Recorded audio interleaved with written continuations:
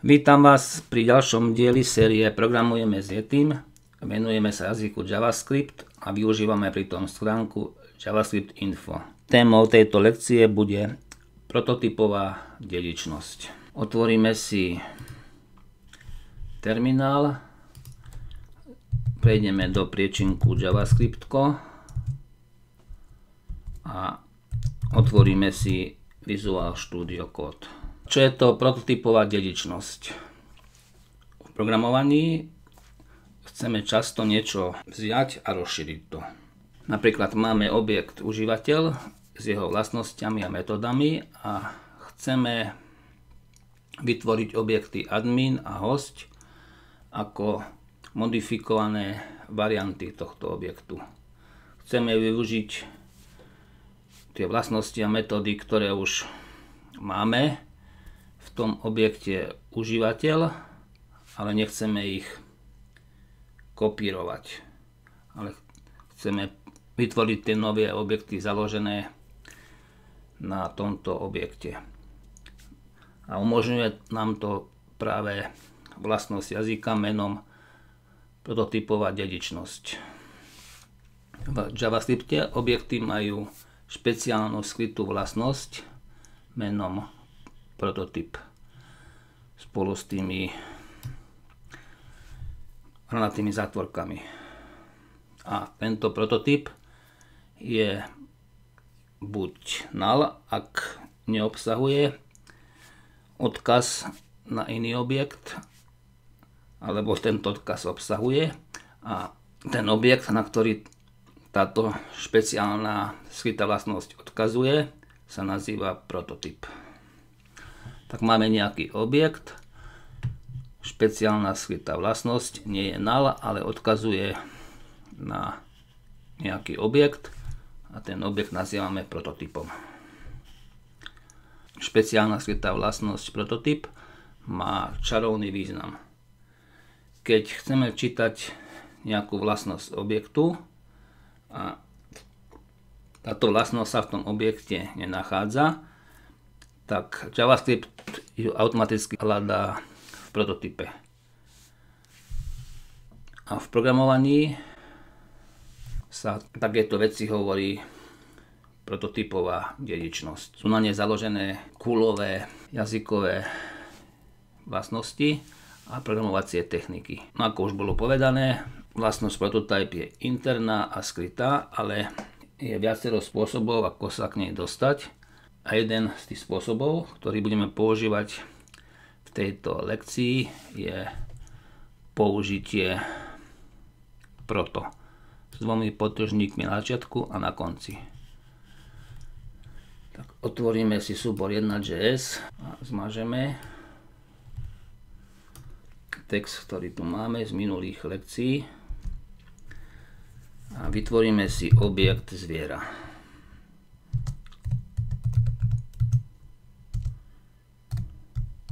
Zviera má jednu vlastnosť alebo atribút s menom je.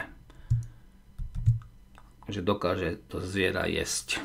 No, každé zviera dokáže jesť. Tak ju nastavíme na pravdu. Vytvoríme si aj druhý objekt menom králik.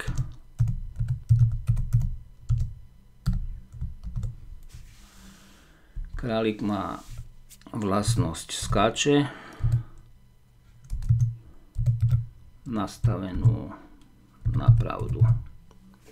Králik by mal dokázať skákať. Pridáme k tomu králikovi odcov vlastnosti proto ako jeho prototyp objekt zviera uložíme, otvoríme si terminál a spustíme si náš server nainštalovaný pomocou npm. Zobrazíme si objekt zviera. To zviera má vlastnosť je nastavenú na true. Zobrazíme si objekt králik má vlastnosť skáče nastavenú na pravdu. Ale keď sa pozrieme trochu dovnútra, tak vidíme, že tu má prototyp a tu vidíme aj tú vlastnosť, ktorú objekt králik zdedil z objektu zviera. Proto s tými potržníkmi nie je to isté ako tá skrytá vlastnosť prototyp. Je to getter setter. Skúsime si priamo hľadať tu nejakú vlastnosť. Tak najskôr si dáme zobraziť králik skáče. Áno, králik skáče. Tak si dáme zobraziť vlastnosť králik je. Áno, králik dokáže jesť. No a aký je rozdiel medzi týmito dvomi vlastnosťami? Hodnotu tej prvej vlastnosti sme získali priamo z objektu králik. Hodnotu tej druhej vlastnosti je sme získali z prototypu zviera. Tuto máme znázornené graficky, takže máme objekt králik, ktorý má vlastnosť skáče nastavenú na pravdu a ak chceme získať prístup k vlastnosti je, tak musíme ísť do prototypu. Hovoríme, že zviera je prototypom pre objekt králik, alebo že králik dedí zo zvieraťa. pridáme do objektu zviera metódu. Pridáme tu metódu kráča.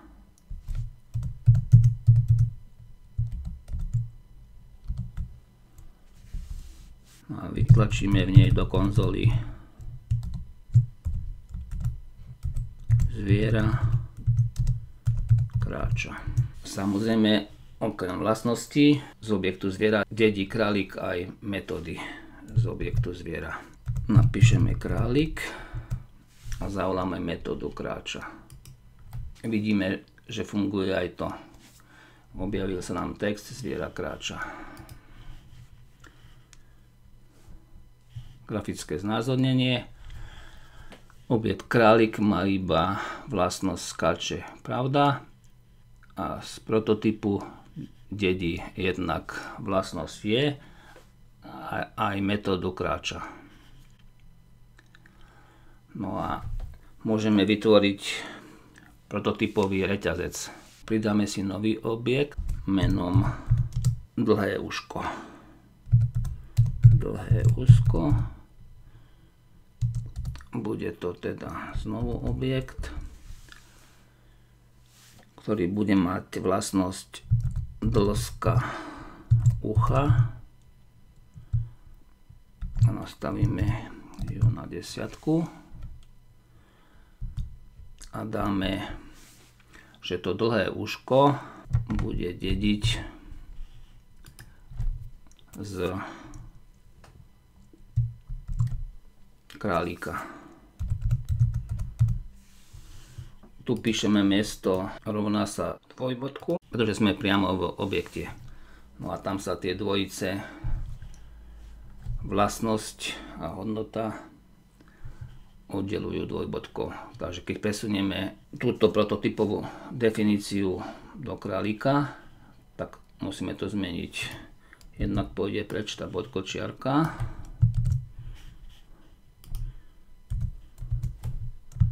A jednak sa to zmení na dvojbodku a bude to len proto. Takže dlhé uško dedí z králika, králik dedí zo zvieraťa.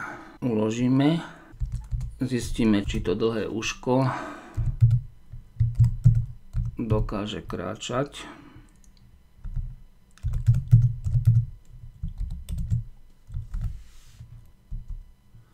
Zviera kráča.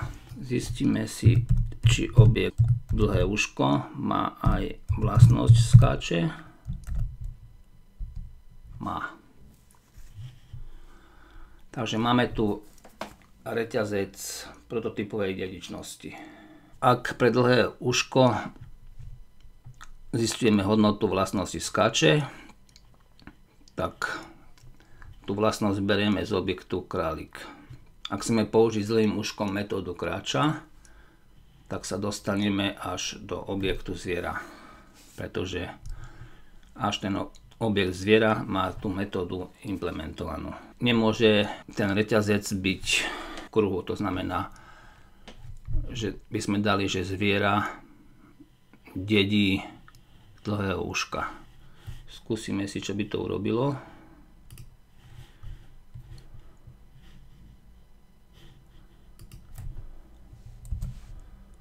Tak pridáme proto.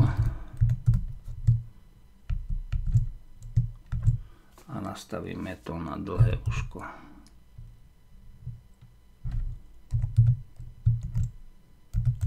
Hneď nám to píše priamo editore chybu. Keby sme to napriek tomu uložili a spustili, máme tu chybu na riadku 6.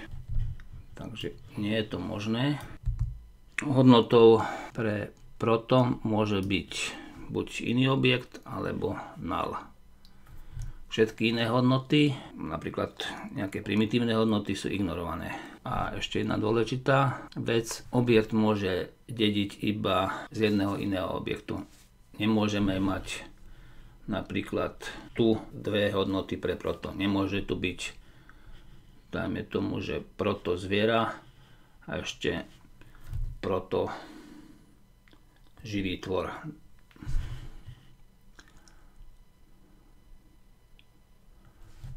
Prototypová dedičnosť sa používa iba pri čítaní vlastnosti. Keď chceme získať prístup nejakej vlastnosti alebo metóde, ktorá v danom objekte neexistuje, tak ju hľadáme postupne v tom prototypovom reťazci. Napríklad, keď chce objekt dlhé uško získať prístup k vlastnosti je, tak ho hľadá tu, nenájde ju, hľadajú ďalej, nájde ju v zierati. Tento reťazec funguje iba pri čítaní. Keď chceme nastaviť alebo vymazať nejakú vlastnosť, tak to funguje priamo na objekt. Napríklad, keď chceme nastaviť pre objekt králika metódu kráča, nepozeráme, či náhodou tá metóda už nie je prototype, ale hneď ju nastavíme priamo v objekte. To je rozdiel pri čítaní vlastnosti. Pri čítaní vlastnosti hľadáme tú vlastnosť v tom reťazci, ale pri nastavovaní nás nezaujíma okolie, hneď nastavujeme tú vlastnosť priamo v objekte. Napríklad pridáme ku králikovi metódu kráča.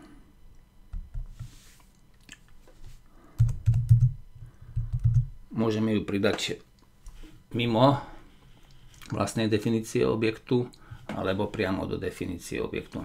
Pridáme ju mimo, takže králik kráča, bude to funkcia,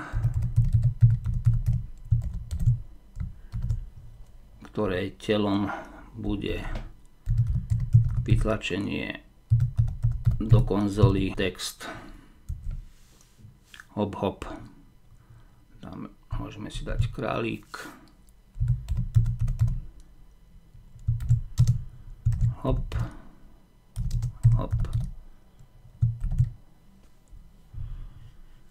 Uložíme. Dáme králik. Bodka kráča.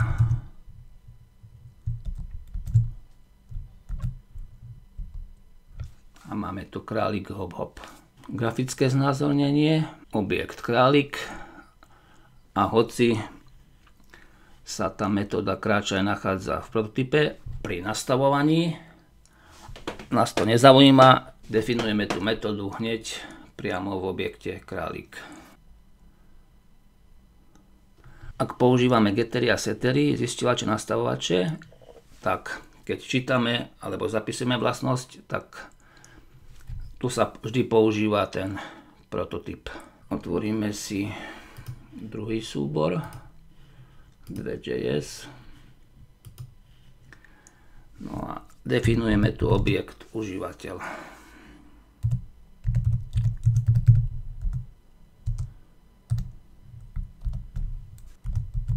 Meno dáme starší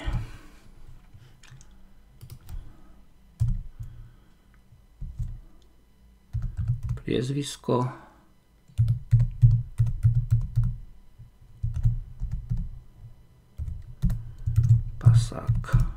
Teraz definujeme setter, nastavovač, celé meno.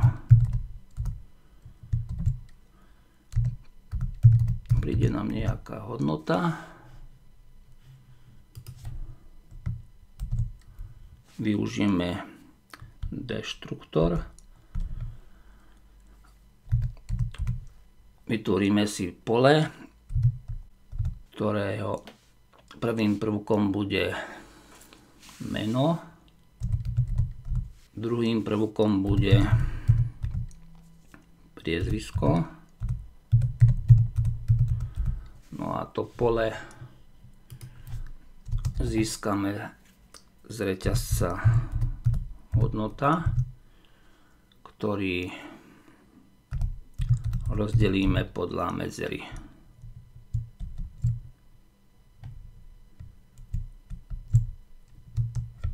to trocha zväčším, aby to bolo vidieť celé. Teraz definujeme zisťovač.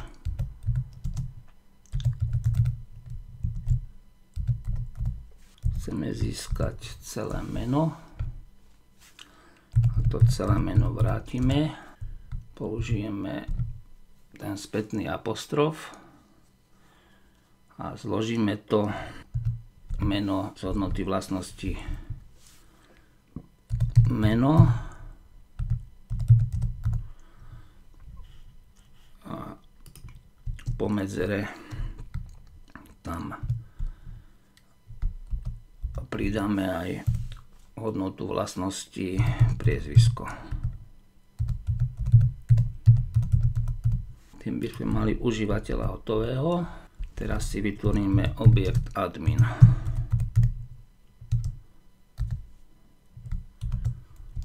Tento objekt bude dediť z objektu užívateľ. Tak nastavíme proto na toho užívateľa pridáme novú vlastnosť je admin. A hodnotou tejto vlastnosti bude pravda. No a teraz to uložíme. Ešte musíme upraviť aj index a zavolať skript číslo 2. Ideme zistiť hodnotu vlastnosti celé meno.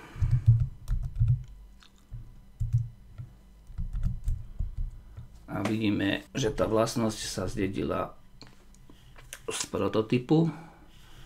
Máme starší pasák. Môžeme